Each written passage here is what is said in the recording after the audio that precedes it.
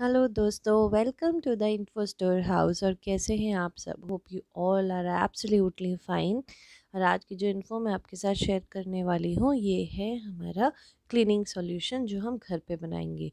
Cleaning solution, चाहे हमें gas stove साफ़ करनी हो या स्लैब साफ़ करनी हो या हमारे घर के कोई भी चीज़ें साफ़ करनी हो, उसके लिए बेस्ट। इसमें हमने लिया है पानी पानी को उबाला और उबालने के बाद इसमें हमने थोड़ा सा मिलाया डिटर्जेंट। डिटर्जेंट के साथ हमने इसमें मिलाया एक चम्मच मीठा सोडा जो खाने वाला होता है, एक चम्मच नमक और नींबू। बस ये तीन चार चीज़ें मिलके इतना अफेक्टिव क्लीनिंग सॉल्यूशन तैयार करती हैं कि आपके चाहे गैस हो या आपके घर का कोई भी हिस्सा हो मतलब बिल्कुल क्लीन हो जाएगा। और ये हमने एक स्प्रे बॉटल में फ़िल कर लिया ठंडा होने के बाद, क्योंकि प्लास्टिक की बॉटल है, इसलिए ठंडा होने के बाद ही उसको फ़िल करें। और स्प्रे बॉटल हो तो बेस्ट है।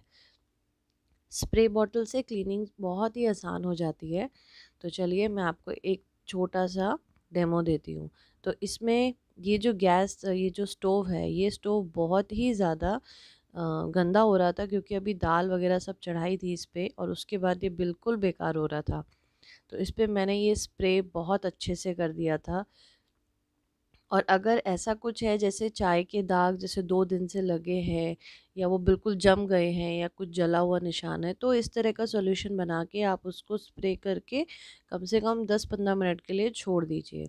और देखिए, वो बिल्कुल बिना किसी मेहनत के इतनी आसानी से सब साफ़ हो जाता है। तो ये ट्राई ज़रूर कीजिए, बिल्कुल एकदम मेरा गैस स्टोव बिल्कुल चमक गया था, नए जैसा।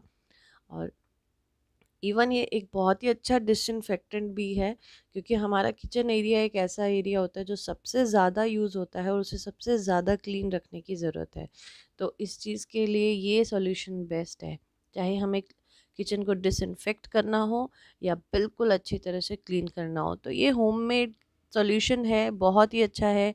ट्राई ज़रूर कीजिएगा।